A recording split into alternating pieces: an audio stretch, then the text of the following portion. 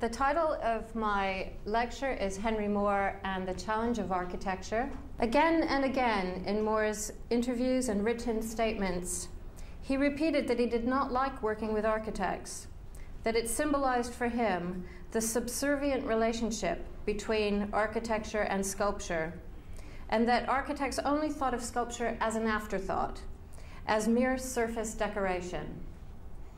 Yet paradoxically, Moore continued to collaborate with architects throughout his career. From the late 1920s, some 50 years before Richard Serra would create sculpture that deliberately subverted its architectural setting, Moore was already addressing the perceived imbalance between sculpture and architecture. As his own work was increasingly finding homes in an urban environment, this became ever more prescient. This paper examines both completed and abandoned projects to assess how Moore challenged his approach to architecture throughout his career. And here we see an image of Henry Moore with I.M. Pei outside the um, Dallas City Hall on the inauguration of his sculpture, Three Piece Vertebrae. In June 1975, J. Carter Brown, director of the National Gallery of Art in Washington, D.C., returned from a visit to Moore's home in Perry Green, and undoubtedly with some frustration, wrote an internal memo in which he stated that upon offering Moore a commission to create a sculpture conceived with the identity of I.M. Pei's new wing in mind, Moore replied, I have never done that. At the heart of the issue was that, unlike so many contemporary sculptors, Moore's work was essentially not site specific. He did not allow the demands of a particular site to encroach upon his creativity. Left to his own devices in his maquette studio at Perry Green, he could engage freely with the found objects that surrounded him on the shelves, led only by his inspiration from the figure and organic forms, and not feel curtailed by a myriad of architectural considerations. In this instance, a solution was found when I.M. Pei came to Perry Green and together they selected knife edge two piece as a suitable idea, only with the forms vastly enlarged and reversed, hence the title Mirror Knife Edge, the model of which you can find in the exhibition. In theory, visitors could enter the East Wing by walking through the sculpture, making the tough abstract forms architectural in function. Yet, despite being a unique cast, clearly this sculpture could work equally well in another site it did not need the National Gallery. Surprisingly, considering the number of works by Moore found in public places, and today the Foundation's website lists 38 countries, it was very rare for the artist to accept a commission. These, remarkably, were very few and early in his career. And I'll just run through those briefly.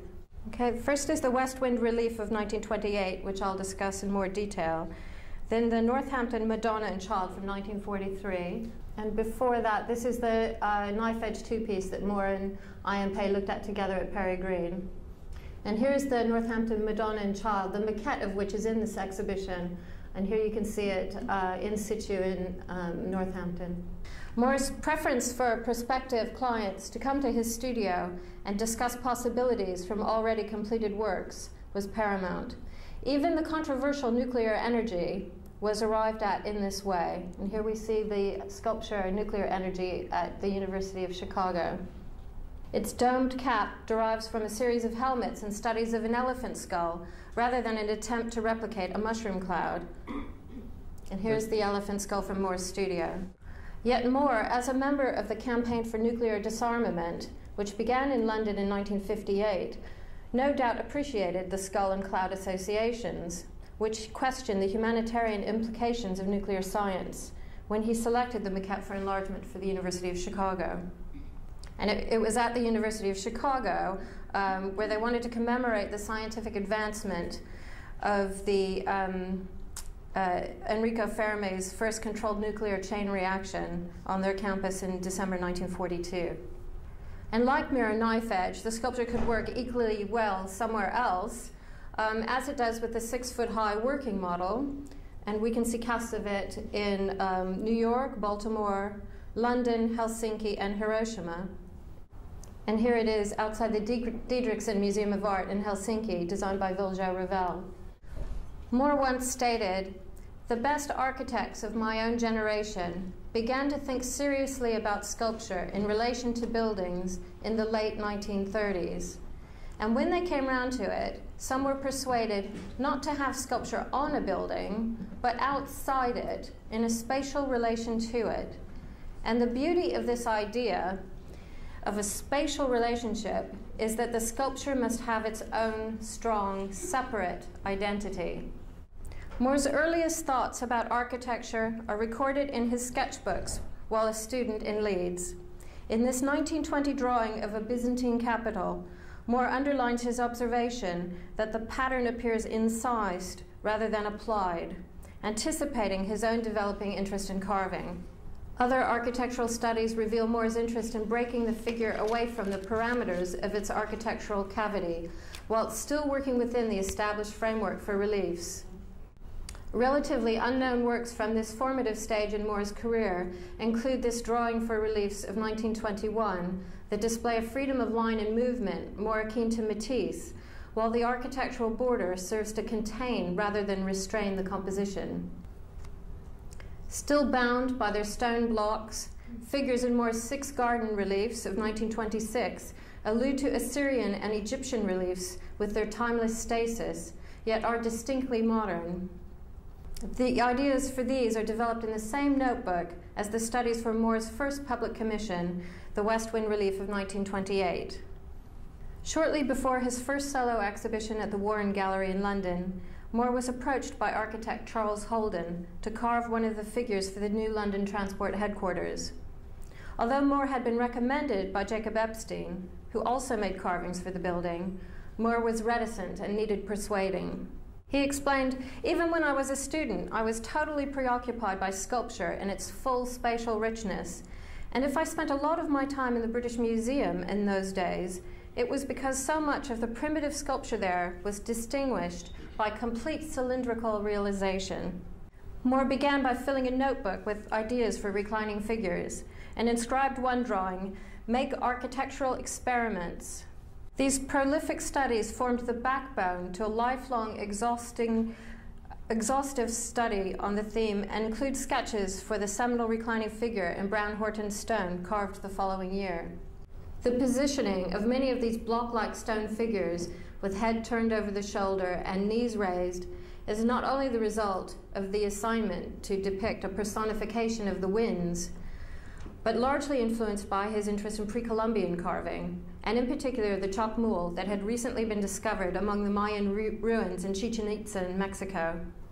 But as hugely important as the West Wind relief was to Moore's development of the reclining figure in his work, the project as a whole was not perceived at the time as a success.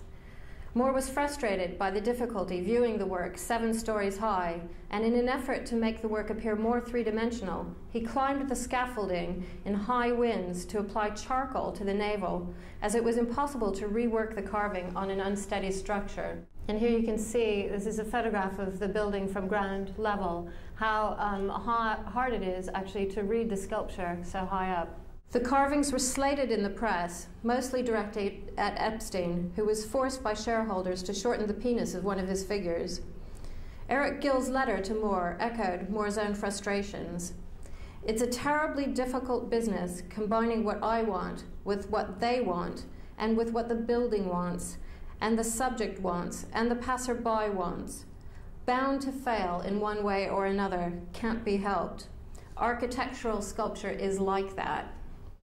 Holden again turned to Moore to carve a series of eight relief figures for London University Senate House Library in 1938. But disenchanted with relief carving, Moore declined the commission, although he did consider it initially and made compositions of seated figures holding books to reflect the purpose of the building.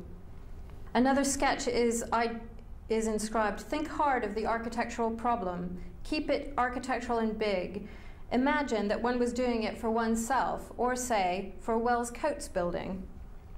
Holden even went so far as to have the stones cut to Moore's specifications and placed in position at Senate House, where they can still be found today, empty stone slabs awaiting Moore's designs.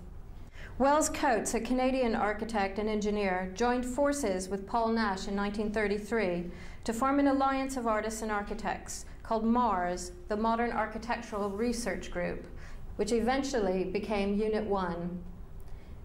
In, in, a statement for Unit 1 in 1934, Moore listed three dimensional realization as one of five qualities of fundamental importance, others being truth to material, observation of natural objects, vision and expression, vitality and power of expression. The Isokon building, designed by Coates in 1933, which you see here, with its lean modern design, became a meeting place for artists and intellectuals residing in Hampstead in London in the 1930s. Jack Pritchard, who commissioned the flats, helped many of the leading Bauhaus artists escape Nazi Germany, including Walter Gropius, Marcel Breuer, and Laszlo Moholy-Nagy. Gropius later worked with Maxwell Fry on the Impington College project, leading to Moore's first family group maquette in 1943, and on a Dartington Hall, for which Moore created his memorial figure in Hornton Stone.